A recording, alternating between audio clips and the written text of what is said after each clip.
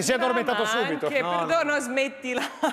Dicevamo letteratura ma anche giornalismo. C'è un giornalista in particolare che Sì. forse conoscete per il suo programma Quarta Repubblica su Rete 4, Ah beh, ma certo. molti lo conoscono per il suo lavoro sul web. È diventata virale la sua zuppa di porro. Noi Vero.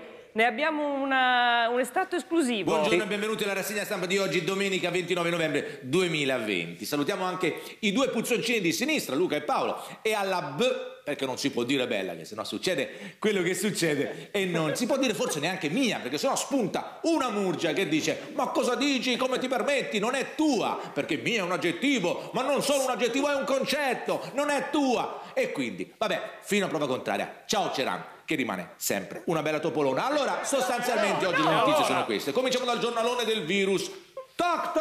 Ci sei Natale? No, per il Corrierone di Via Solferino il Natale non si fa più. Non si bisboccia per citare il ministro comunista che vuol far anticipare la messa a due ore prima. Ma che due ore prima? Allora togliamo tutto. Basta, via il Natale, direttamente. Via i regali, via le cene, via le vacanze, via l'albero. Rimarranno solo le palle, le nostre.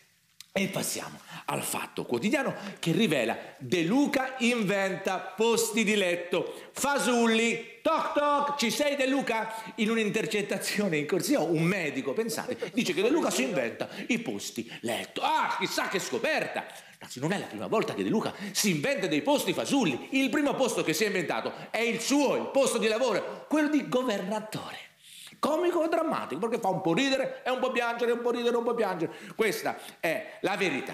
E a proposito di verità, eccolo qua il titolo, regalo di Natale, la patrimoniale. Toc toc, ci siete soldi? No, ma io, Stato italiano, cosa faccio? Sono buono, non li voglio ora i soldi. Me li darai poi con calma, il 30 di aprile, il doppio. Dove prenderemo i soldi? Boh, ci si penserà. Intanto, auguri. Auguri col can... Col cannocchiale vi vorrei vedere, da lontano, governo di incapaci, di cialtroni, di comunisti, io lo dico perché sono un uomo libero, io ho mille interessi, potrei fare questo lavoro, ma potrei fare altri, potrei viaggiare, cucinare come faccio, ho mille interessi, non sono obbligato a fare questo lavoro, quindi sono libero, potrei non farlo domani, libero. Mi avete tolto tutto, ci avete tolto tutti, ma non toglierete mai la libertà di dire che sono libero anche di mandarvi a quel paese. E siamo al gran finale, sui vaccini. Allora, su Repubblica la solita barzelletta, toc toc, ci sei vaccino? No, anzi sì, ce ne sono tre, c'è un italiano, uno americano e uno tedesco e quello italiano pensava di passare avanti agli altri, ah, ah, ah, matte risate. E intanto, toc toc, in Cina ci sei? In Cina no. Dove è partito tutto? Non c'è più nemmeno un caso. Che fine ha fatto il virus? Non si sa, è sparito.